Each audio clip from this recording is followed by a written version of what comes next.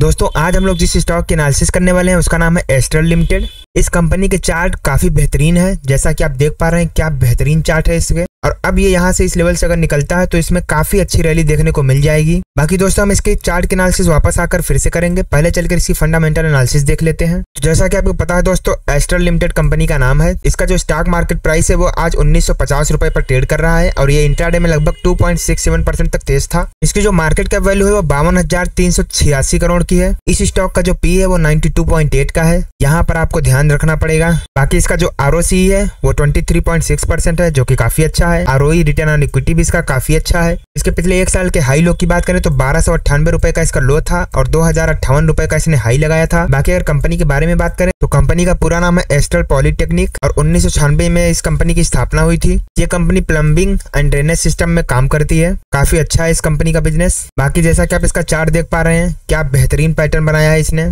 पिछले कुछ सालों में इसने काफ़ी अच्छा रैली दिया है और अब ये ऊपर ही सस्टेन कर रहा है, जो कि एक गुड कंसोलिडेशन है। बाकी इसके अगर प्रोज एंड कॉन्स की बात करें दोस्तों तो कंपनी ऑलमोस्ट डिप्ट फ्री है, जो कि काफ़ी अच्छी बात है। कंपनी का सी जो है, वो पिछले पाँच सालों में ट्वेंटी वन परसेंट से भी ज़्यादा है और पिछले दस सालों में इसका जो सेल्स ग्रोथ है, वो नाइनटीन परसेंट से बढ़ रहा है। बाकी अगर इसके जो कॉन्स की बात है, वो ये कि 18 टाइम्स बुक वैल्यू पर ये स्टॉक ट्रेड कर रहा है तो इस पर आपको विशेष ध्यान रखना पड़ेगा। और प्रोमोटर्स ने अपनी हिस्सेदारी इसमें थोड़ी सी कम भी करी है तो इसको भी नोट करके चलिएगा। बाकी इस कंपनी की अगर पेयर कंपेरिजन की बात करें तो ये कंपनी प्लास्टिक प्रोडक्ट्स के मैन्युफैक्चरिंग में काम करती है, जिसमें एस्ट्रल हुआ Supreme Industries Finolex Industries Responsive Industries Prince Pipes Jai corp Time Technoplast ये सारी की सारी बेहतरीन कंपनियाँ काम करती हैं। बाकी एस्ट्रल के अगर क्वार्टरली रिजल्ट्स की बात करें तो इसका जो सेल्स ग्रोथ है, वो दिसंबर 2020 में आठ सौ अट्ठानबे करोड़ का था। दिसंबर 2021 में 1103 करोड़ का, दिसंबर 2022 में बारह करोड़ और दिसंबर 2023 में 1370 करोड़। यानी कि हर क्वार्टर में यहाँ पर आपको मुनाफा ही दिख रहा है। हर क्वार्टर में यहाँ पर सेल्स बढ़ते हुए नज़र आएगा। अगर इसके नेट प्रॉफिट की बात करें तो दिसंबर 2020 में जहाँ पर 124 करोड़ का मुनाफा था, दिसंबर 2021 में 128 करोड़ का, दिसंबर 2022 में 95 करोड़ का हुआ और दिसंबर 2023 में कुल 113 करोड़ का प्रॉफिट हुआ। पिछले 10 साल के अगर इसके प्रॉफिट लॉस की बात करें तो इसका जो सेल्स ग्रोथ है, वो मार्च 2012 में पाँच करोड़ का था। मार्च 2015 में 1410 करोड़ का हुआ, काफ़ी तेज़ी से बढ़ा। मार्च 2018 में दो हज़ार तिहत्तर करोड़ हुआ।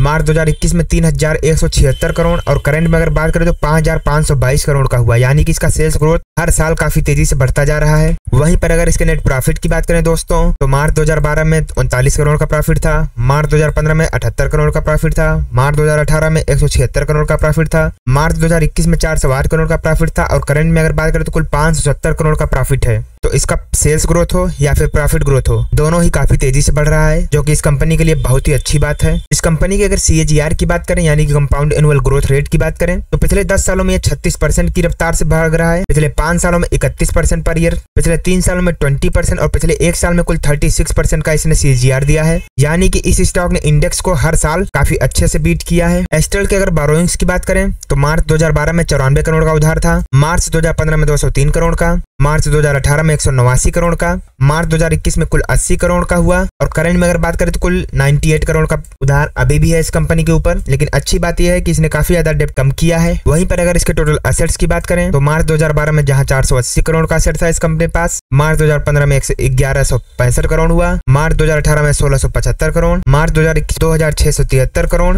और सितंबर 2023 में कुल 4,328 करोड़ का एसेट है इस कंपनी के पास। तो इसके अगर शेयर होल्डिंग पैटर्न की बात करें दोस्तों तो जो प्रमोटर्स की हिस्सेदारी है, वो मार्च 2021 में 55 परसेंट तक थी, जो दिसंबर 2023 में चौवन परसेंट है, यानी कि लगभग एक से डेढ़ परसेंट इस कंपनी ने अपना हिस्सा कम किया है। बाकी वहीं अगर एफ़ की बात करें तो जहाँ साढ़े बाईस परसेंट पर थे, उन्होंने भी अपना थोड़ा सा हिस्सा कम करके साढ़े उन्नीस परसेंट तक किया है। टी की अगर बात करें तो seven point six eight percent पर थे। इन्होंने अपना माल बढ़ाकर साढ़े तेरह परसेंट तक किया है। और अगर पब्लिक की बात करें तो जहाँ साढ़े तेरह परसेंट पर थी पब्लिक ने भी अपना हिस्सा थोड़ा बहुत कम करके साढ़े बारह परसेंट पे किया है। तो ओवरऑल अगर देखें तो डी को छोड़कर बाकी सब कुछ न कुछ थोड़ा थोड़ा अपना हिस्सा कम करते जा रहे हैं। लेकिन डरने की बात नहीं है दोस्तों, क्योंकि प्रोमोटर्स अभी भी मेजोरिटी में है। वहीं पर इस कंपनी अगर फोरेंसिक एनालिसिस करें, पिछले दस सालों में इसका आरोई भले ही कम हुआ हो, लेकिन पिछले तीन चार सालों में इसका आरोई काफ़ी तेज़ी से बढ़ा है। इसका वर्किंग कैपिटल काफ़ी अच्छा है। अच्छी बात यह है कि कंपनी ने कोई भी प्लेज नहीं किया है। कंपनी ऑलमोस्ट डिप्ट फ्री है। तो ओवरऑल अगर देखा जाए तो कोई खास चिंता की वजह नहीं है। इसके अगर मार्केट शेयर की बात करें तो अधेसिव में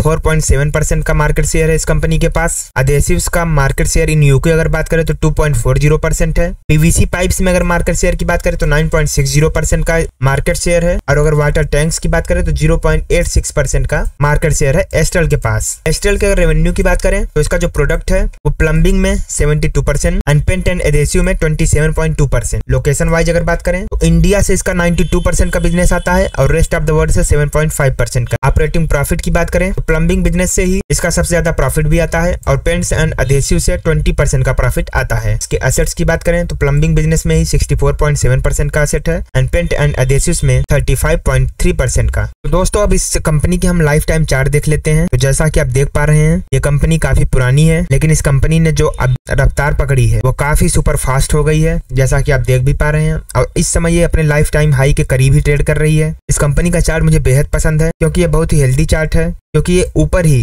कंसोलिडेट कर रहा है और यहाँ से अगर जब ये निकलेगा तो फिर यहाँ से एक नया हाई देखने को आपको मिल सकता है। बाकी ये कंपनी दोस्तों, पीढ़ी दर पीढ़ी रखने के लिए है। तो बेहतर होगा कि आप इस स्टॉक को अपने पोर्टफोलियो में शामिल करें, अपनी नेक्स्ट जनरेशन के लिए। बाकी कोई भी फैसला आपका फैसला होगा। तो सोच समझ कर इन्वेस्ट करिएगा।